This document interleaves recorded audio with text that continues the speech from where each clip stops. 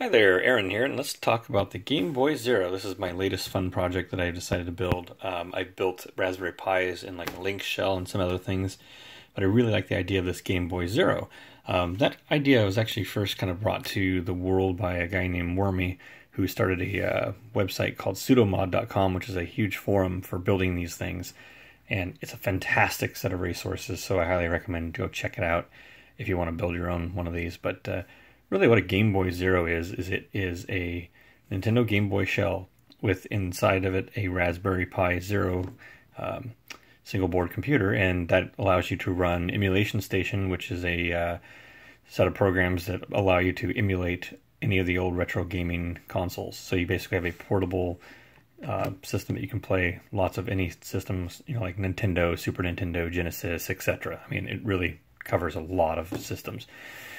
Uh, this project, what I really wanted to do was build one, and I didn't want to use any original parts. Um, I didn't want to murder an original Game Boy, so these are all aftermarket reproductions. Like this is a you know a Chinese built reproduction Game Boy shell. This is a uh, clear uh, glass screen protector. Actually, it, it's it's bigger than you know the original screen because we have a, a three and a half inch LCD inside there, and this uh, protector is built by a company named uh, Kitsch Bent then I've got some extra, you know, X and Y buttons. Um, and then on the back, I've got some uh, rear shoulder buttons. I have a, a uh, you know, a fake cartridge shell and a, with a cool little sticker made by a guy named Dominator on the forums. And then inside the uh, battery door, I've got a uh, 5500 milliamp, uh, you know, lithium ion battery, and then kind of just printed up a little mock sticker that eventually I would need to make a real sticker for. But there's a guy uh, on the forums who, who made this sticker. But the the battery is supplied by a guy on the forums named Dextech. So again, on the forums, everybody's got a contribution, and they all come together to uh, make you know whatever build you want to do and whatever your goals are. My goal was I wanted it to be easy, fun. And to be pretty professional. I didn't want to have to cut into a lot of things. I didn't want tons of wires running everywhere. Um, it'd be nice to take it through the TSA and not look like this is some sort of crazy contraption, and it has passed that. So on the sides, let's take a look. We've got the uh, you know original volume control. In the external connector, we actually have a full-size USB port. Um, no modifications done on this side. In the other side, we have a uh, micro SD card in the uh, contrast port which you can eject. And then uh, this is an actual cut in the case for the uh, micro USB, which this is your charging jack. And then in the original uh, charging port right here, you have a just a little tactical or tact switch, and that uh, is a kind of a shift button or a function button, and that allows the uh, the circuit board inside to do some different features. And let's see, yep, on the back, like I said, I already have the back buttons. I kind of covered all this. You still have the original headphone jack and that works. And then you also have a uh, you know speaker in there, and actually have a, a, original Game Boy speaker in there. So what's in the inside, before I show you what's going on with you know it actually working, is this is what makes the whole thing possible inside. I'm using Kite's Super All-in-One board. Uh, there are a lot of different ways to do this. Some people have smaller all-in-one boards that just have the buttons. Some people just wire up their own stuff, hack up an original Game Boy. Um, I like this board because several reasons it basically has everything on it and it has lots of connectors to plug everything into and makes it really easy to disassemble this thing for uh, service if you want to get in and out of it. But it literally has everything on it. So the first step is you solder your Raspberry Pi Zero on to the board, which is, you can see I'm building another one here, so this is already done. It relocates the SD card right there. Uh, you got your battery connector here, some status LEDs up top, um, on the back side, we have uh, down here, you know, you've got your audio amplifier chip. It, it has a USB hub built in. This has uh, all the charging and power boost circuitry and a safe shutdown, so that way when you flip the power switch off, you don't actually just turn off your uh, system immediately. It takes a few seconds and does an actual safe shutdown in Linux.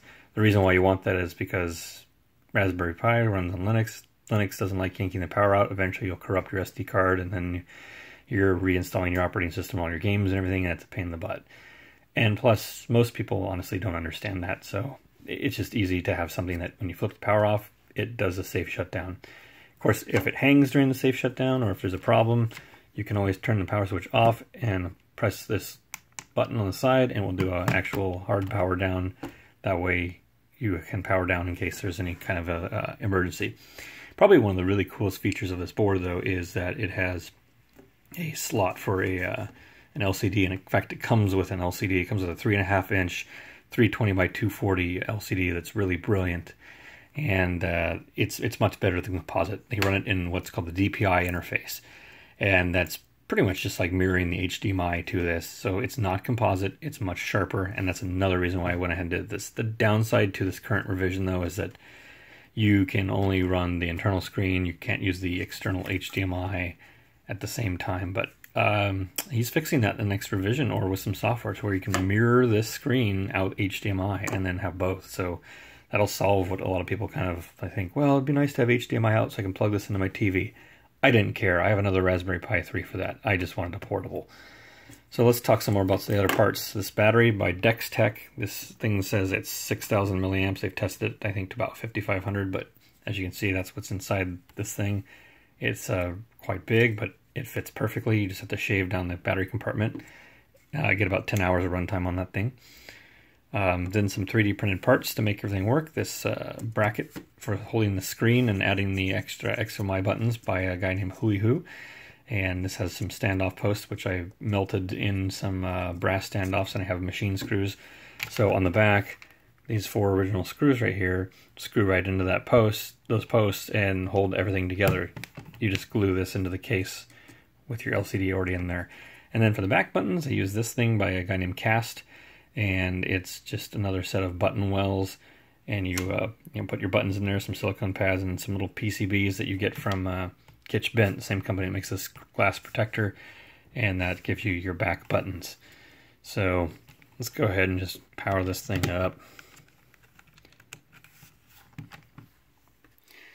Now the big thing, of course, is it runs Linux, so it takes a while to boot, about 45-50 seconds, so that will make this video a little bit longer, but that's okay.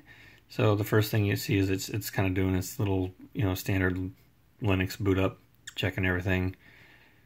And then once it gets to a certain point here, it'll kick off a splash screen and uh, you can initialize a few things, but this is a splash screen I found on the internet it's just kind of a Marvel style intro to uh, RetroPie, just showing all the different games, which I thought was kind of cool. Um, one of the cool things that Kite's done on, uh, actually, I should kind of cover that. Kite, who built this board, also made a uh, image for the Raspberry Pi that has all of some things built in, which includes a nice little overlay for the battery, so you know exactly where your battery's at when you're playing games. And so that's that's nice. When that thing gets low, it will automatically warn you and shut down, but it's nice just to keep a tabs on that battery. Um, here you are, and this is an emulation station theme that uh, somebody came up with in the forums, and you know, let's go ahead and you, know, you can go ahead and look at any of your normal games here, like in Super Nintendo. You've got all these different games, and then the screen art that I've scraped. But I keep you know a few in favorites to make it easy, and you can go ahead and just fire one up like old Super Metroid. And I have a little loading screen instead of the little Linux box that normally comes in there, or the text box.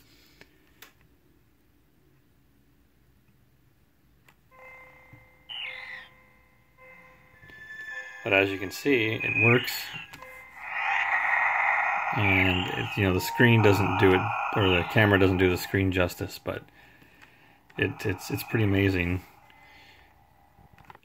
and then uh, you start and select, go back to your menu, and you can select other things that you know you might play. I I only have a few Super Nintendo games in here. I haven't populated this, but yeah, you can play other games too. Like if you want to play uh, actual Game Boy games, which is kind of fun to do because it is a you know a Game Boy after all. Ooh, asteroids.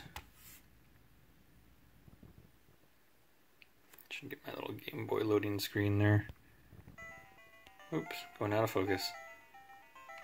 Yep, and you get the nice emulated green screen. So that is just kind of a quick overview of, of my uh, Game Boy Zero, and I'd have to say I, I love this thing. It's fantastic. It, most people think it's a real Game Boy at first glance until they see that you can play anything. And honestly, this board, these parts, it's about two hundred dollars to build one of these because um, this board alone is almost hundred dollars shipped to the U.S. But that includes your LCD, that includes all these parts. I think you get close to building, you know, by by piecemealing it, you get close um, to that same price, but you wouldn't have the, uh, you know, the professionalism that you get with this board and and just the stability. Because honestly, once everything's in there, it's really easy to assemble and disassemble, and nothing seems to break or be glitchy. And uh, like I said, you can shut it down, just flip the power switch, wait a few seconds, and then it goes ahead and does a safe shutdown and turns the system off. And there you go. So there you have it. That is my Game Boy Zero. And I uh, hope you guys enjoyed that. Uh, I really enjoyed building this. I'm going to build another one. Um, but uh, I can't wait till he, the kite comes out with some more boards that use the Raspberry Pi 3, maybe has a higher resolution LCD. There's always stuff going on. So again, check out that Sudomod forum. And, uh, you know, like I said, lots of credit to all these guys that build all these parts. It makes this so easy and so much fun to build.